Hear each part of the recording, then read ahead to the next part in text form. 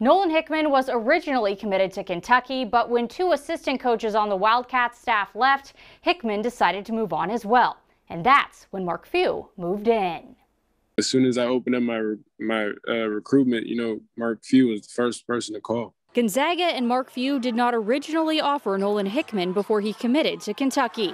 Once he decommitted from the Wildcats, though, Few was not going to make the same mistake again, even if Gonzaga's man in charge initially thought he was done adding to the 2021-2022 roster. They weren't recruiting nobody. You know, they, they didn't they weren't taking nobody else. So the fact that they reached out to me and it really wanted me that it really showed them, you know, that I was wanted, you know, and, and they really needed me on the squad. They opened their eyes, you know, when it came down to it when I was a free agent. So they do their homework, they do their research, uh, you know, real hoopers, which I am. So. Although playing time has not been discussed between Nolan and the staff for next season, he hopes his hooping ability will lead to plenty of it.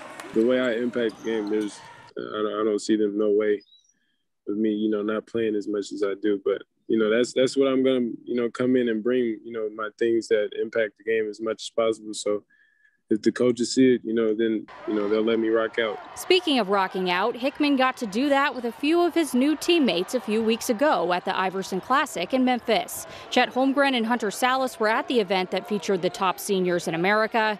Hickman wasn't publicly committed to Gonzaga yet when he attended, but he went there with a purpose it was real dope. You know, getting to connect with Chet, you know, I, and I kind of already, you know, threw a little hint to him and Hunter before even going there, you know, to let him know that I was even coming. So they, they knew that, you know, we needed to start a little chemistry, you know, our, our connection needed to be a little bit down packed, you know.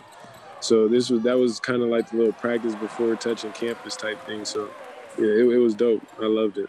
That trio, along with a slew of exceptional returning players, has Gonzaga ranked as the preseason number one team in the country by nearly every outlet. Nolan isn't really about the talk.